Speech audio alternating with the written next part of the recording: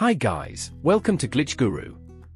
In this video, we'll show you how to find and access locked folder in Google Photos app on your Android or iPhone. First, open the Google Photos app on your phone. Now, switch to the Library tab. Here, tap the Utilities option at the top. In this menu, scroll down to the end of the page and tap Locked Folder. In case you don't see the Locked Folder option, it means you haven't set it up. To do so, open any random photo on your phone. Tap the three-dot menu icon in the top right corner. Now, scroll through the options and select the Move to Locked Folder option. Select Move to confirm. Once you do this, return to the Library tab, and then tap on Utilities. In this menu, scroll down to the end of the page and you should now see the locked folder. Let me know in the comments if this helped and subscribe to Glitch Guru for more such tips.